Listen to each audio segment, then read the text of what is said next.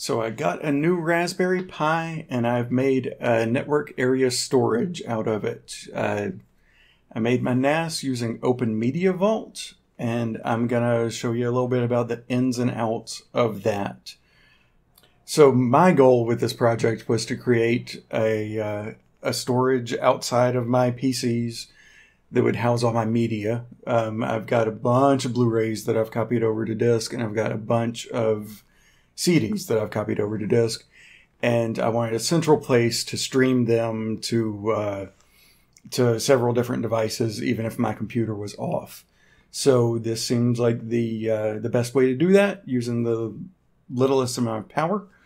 Um, I can stream to my phone. I can stream to a tablet if I want to, and I have another little Raspberry Pi attached to my TV that has Kodi on it and then I'm going to also set it as a centralized database for the uh, for the Kodi application, so it can stream to multiple devices, uh, laptop, desktop, phone, or the big TV. So all of that can be done with a little $35 Pi. I want to stress that I got the Raspberry Pi 4 I got the version with one gigabyte of RAM. So I got the cheapest current version available. For a file server, you do want the Pi 4 definitely because it has USB 3 ports. The ones before that were limited to USB 2, and that's probably not going to cut it if you're transferring a lot of data to an external hard drive. So, hardware wise, I got the Raspberry Pi 4 and I got a uh, Western Digital external hard drive. Nothing too special. Um, there was a decent price on uh, an 8 gig version on Amazon, so I just got that, plugged it up, plugged it in, and um, and then went over to Open Media Vault's website to see what to do from there. So I started here uh, it explains a little bit. Open Media Vault is just a free system to run to manage your storage. It's built for uh, NAS systems and it's compatible with the Raspberry Pi, and it is very very powerful for free software. So I'll show you how, how all that works. I just went here, went to download. Uh, installation images can be found here, and I'm looking for a single board computer. That's the Raspberry Pi. I went ahead and got version 5. It's technically still in beta, but it's been in beta for a long time. Most of the kinks are worked out as far as I can tell. I haven't had any trouble with it, but if you want something that's definitely stable, you can go to version 4. Um, version 5 refers me to this website, which I have open right here. Um, and this is just a PDF on GitHub that explains how to get this thing installed. It is 18 pages, but it's nowhere near as scary as it looks. It's all written in plain English and it's it's very easy to walk through.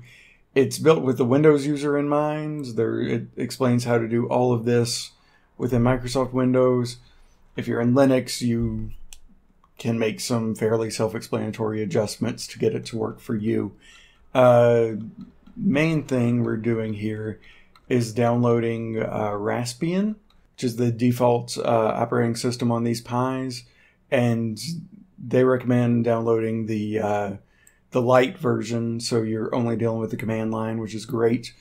Uh, they also show you how to modify uh, the extracted image on your uh, SD card, so it will support SSH out of the box, so you don't even have to attach that Pi to a display or a keyboard or anything. So that's what I did. Um, got that guy uh, going, burned the image on it, and then to SSH. Uh, in Windows, you use PuTTY, and they show you how to do that. In Linux, you just say SSH, and the default user is Pi, and the IP address for me is 192.168.1.102. And it asks you for your password, which I've actually reset this. The uh, default password is in here. I forget what it is. I think it's just Raspberry, I think. Yeah, the default password is Raspberry. It says it right there. And once you're in, you can change that password using the password P A S S W D command. Uh, definitely change that. Definitely change that. Um, and then, yeah, it just walks you through everything you need to do. There's this. Uh, you want to upgrade all your packages, and then there's this magical command right here that just downloads Open Media Vault and installs it, and then you reboot, and you're golden. So once that is installed and rebooted, you'll be able to go to your web browser. You'll enter the IP address that is attached to that Raspberry Pi, which you can find on your router. You can also use a tool like Nmap to find it. There is also a very handy uh, tool called NetScan that you can download for an Android phone, probably for an iPhone too. And as long as your phone's on the same network as your Pi, you can scan and it'll show you all the devices that are attached to that same network, and you can tell which one is your Raspberry Pi. So mine's located at this IP address, and you type that into your web browser, and this is what you get. Just a simple login. The username is admin the password by default is Open Media Vault. Again, once you're in, I recommend changing that. Your host name by default is going to be Raspberry Pi. You can change that in network. Change your host name. If you're on a domain, you want to put your domain name in.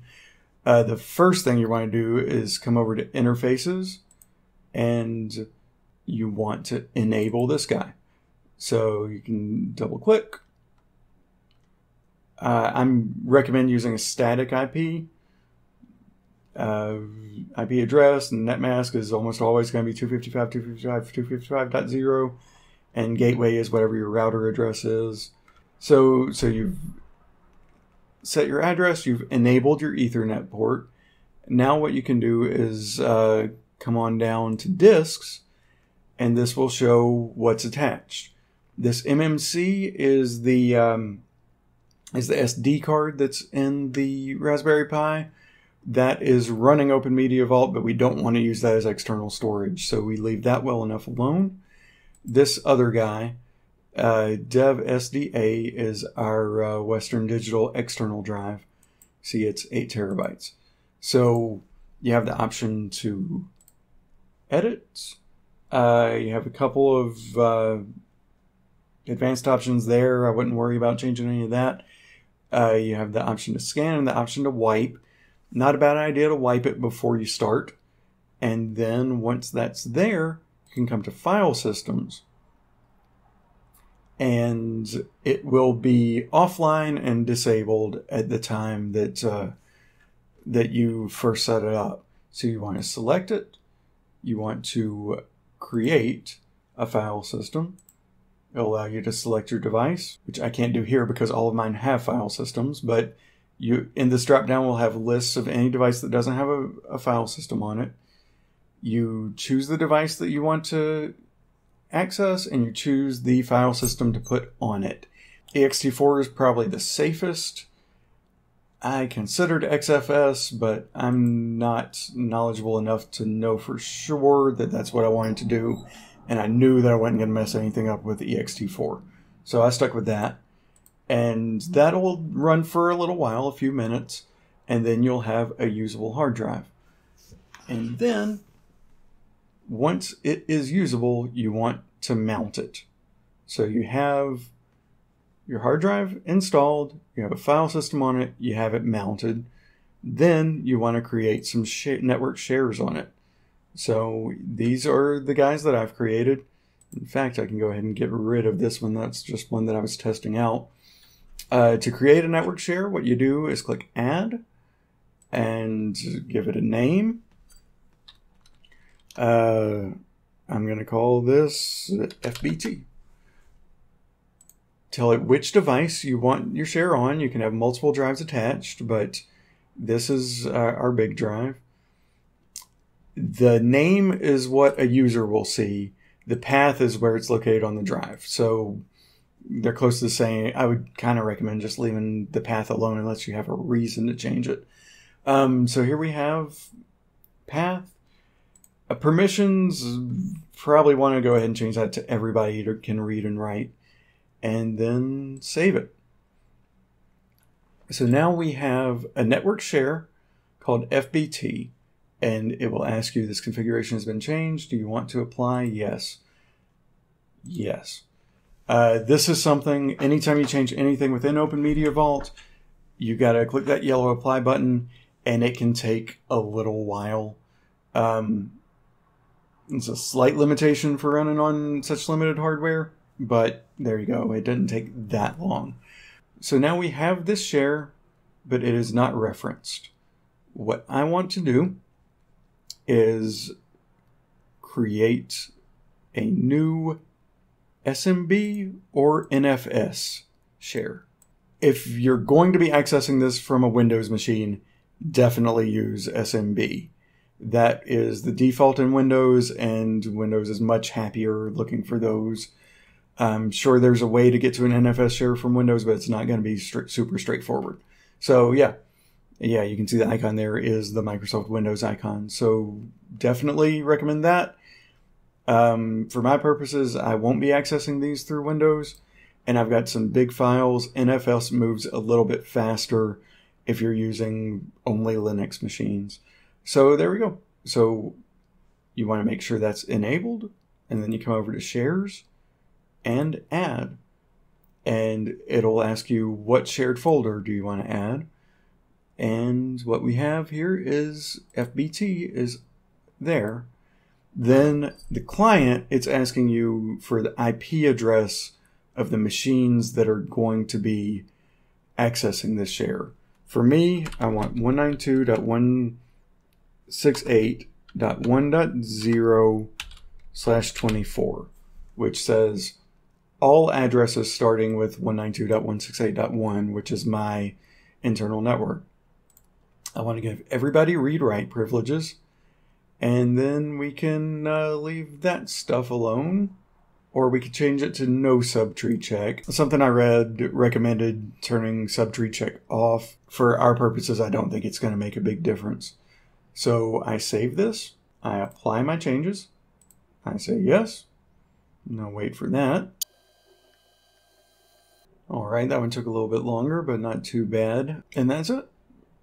One thing I want to check real quick if I go back up to shared folders, I want to take a look at the ACL on this and make sure others have read, write, execute access. That's perfect. That's, I am all good with that. Yeah, we should be good there. Now, if you created an SMB share, what you can do is come to your file browser and look at network, and it will likely show up under Windows Network. Um, yeah, no such file and directory for me because I have no Windows shares. What I do have are these guys, which are my music and movie shares, and I need to add access to the FBT share. So to do that, I need to edit my uh, file system table, which I can do with sudo nano etc fstab. All right, and it's important to make sure you know what machine you're on. I almost edited the the file system table within the uh, Pi itself. That is not what I wanted to do. So I exit out of that session. I'm back on my PC. So now I can sudo nano etc fstab, and it's going to look more like I expected. So here we just follow these instructions. File system, we're going to put the IP address, followed by a colon, followed by a forward slash, and the name of the share. For the mount point, we need to create a folder to mount this on. So I'm going to go into home. I'm going I created mine in NAS. That's, I have my movies and music there. I'm going to create a new folder and call him FBT. And I am going to point this share at that folder. Home slash mark slash NAS slash FBT. and it is an NFS share. And in the back here, we're going defaults zero zero, just because that's what we want to do. We will control X. We will save. We will uh, write to the file, and we will do a sudo mount minus a. And you see what happened there is my new share just popped up on me. So FBT exists now. Uh, you can see it's a network location right here. And once they're mounted, you don't have to worry about navigating to the folders where you put them. Network locations are going to show right here. So we can create a new folder. Mm, so FBT uh, test we can go into that folder, we can create a document, uh, test.txt, we can open that guy up, and this is my new document. I can save it, I can close it, I can open it with another editor just to make sure the changes took place. So I have read-write access on multiple levels in this new network share. And I can get to that from any device with access to that Raspberry Pi.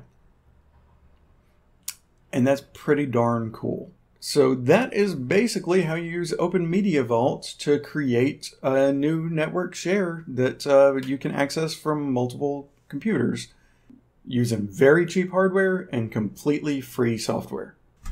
So I hope you enjoyed that. I certainly have enjoyed playing with uh, with this file server myself. It's been a good time, and I have learned a lot. I hope shares hope I shared some of that knowledge with you, and I hope you guys are doing good. Let me know uh, in the comments below, and like and subscribe if you see fit. Thank you very much.